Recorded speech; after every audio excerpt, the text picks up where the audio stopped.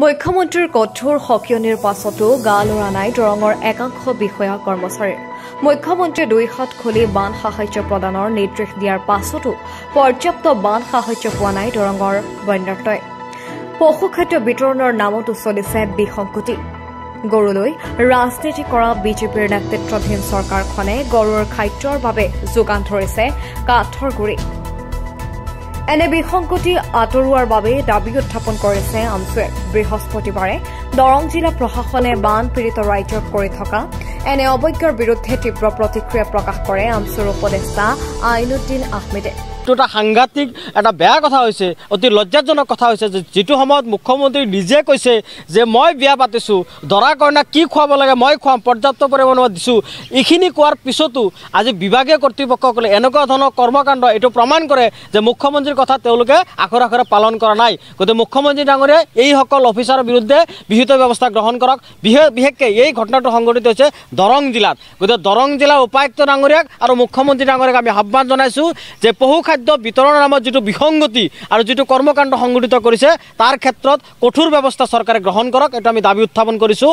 আৰু জনগণক এটা কথা আহ্বান জনাইছোঁ চৰকাৰে যিখিনি পৰ্যাপ্ত পৰিমাণে সাহায্য বিতৰণ কৰাৰ কাৰণে দায়িত্ব দিছে এইখিনি আপোনালোকে পৰ্যাপ্ত পৰিমাণে যদি পোৱা নাই আপোনালোকৰ নিজাববীয়াকৈ এই কথাবিলাক আহি জিলা উপায়ুক্তক আৰু চাৰ্কুল চাৰ্কুল অফিচাৰক আপোনালোকে অৱগত কৰাক আৰু এই সংক্ৰান্ত আমি আপোনালোকৰ লগত আছোঁ।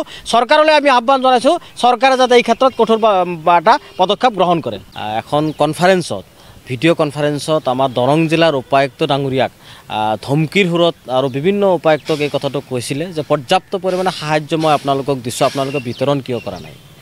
তো তাৰপিছত দৰঙত কিছু তৎপৰতা দেখা গৈছিলে সাহায্য বিতৰণো কৰিছিলে। অনুৰূপ ধৰণে অসমৰ বিভিন্ন জিলাত বৰপেটাত বঙাইগাঁও বাক্সাত এইবিলাকতো কিছু সাহায্য বিতৰণ কৰা দেখা গৈছিলে। কিন্তু সাহায্য বিতৰণ কৰাৰ পিছ মুহূৰ্তত আমি দেখা পালোঁ যে যিখিনি সাহায্য ইছ্যু কৰা হৈছে সেই ইছ্যুখিনি ইছ্যুখিনি ইছ্যু কৰা সাহায্যখিনি যিসকল ভুক্তভোগী তেওঁলোকৰ তাতে গৈ পোৱা নাই। আৰু এইটো হৈছে মানে ডাঙৰ এটা সমস্যা।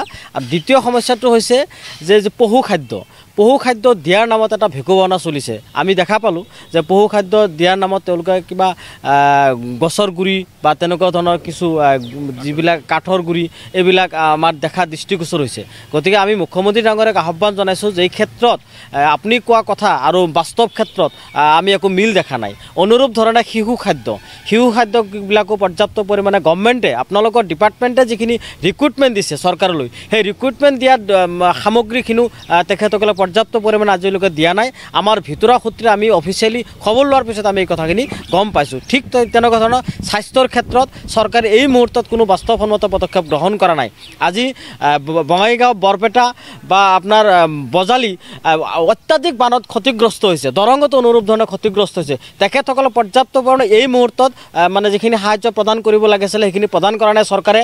ঠিক অনুৰূপ ধৰণে পশু খাদ্য বা শিশু খাদ্য বা স্বাস্থ্যসন্মত ব্যৱস্থা চৰকাৰে গ্ৰহণ কৰা নাই। আমি চৰকাৰক বা আমাৰ মুখ্যমন্ত্ৰী ডক্টৰ হিমন্ত বিশ্ব শৰ্মা ডাঙৰীয়ালৈ বিনম্ৰভাৱে আহ্বান জনাইছোঁ যে তেখেতে অতি সোনকালে এই যিখিনি সমস্যা এই সমস্যাখিনি সমাধান কৰক। অন্যথাই আমি চৰকাৰৰ বিৰুদ্ধে প্ৰতিবাদ কৰাৰ বাহিৰে বিকল্প কোনো পন্থা আমাৰ নাথাকিব। আজি চাওক আপোনালোকে যে গুজৰাটৰ গুজৰাটৰ মানে মহাৰাষ্ট্ৰ চৰকাৰ ভঙা পতাৰ ৰাজনীতি আজি অসমত আহি পাইছে। অসমত যি বানৰ এটা তাণ্ডৱ চলিছে ইমান মানে ক্ষতিগ্ৰস্ত হ'ল।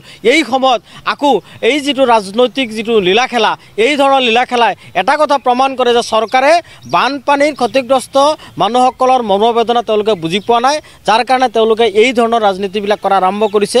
গতিকে মাননীয় মুখ্যমন্ত্ৰী ডক্টৰ হিমন্ত বিশ্ব শৰ্মা ডাঙৰীয়ালৈ আপোনালোকৰ জৰিয়তে আহ্বান যে অতি সোনকালে পৰ্যাপ্ত পৰিমাণে সামগ্ৰী প্ৰদান কৰক আৰু যিখিনি দুৰ্নীতি হৈছে সামগ্ৰী বিতৰণৰ নামত চৰকাৰলৈ আমি আহ্বান জনাইছোঁ চৰকাৰে যাতে এই ক্ষেত্ৰত কঠোৰ এটা পদক্ষেপ গ্ৰহণ কৰে।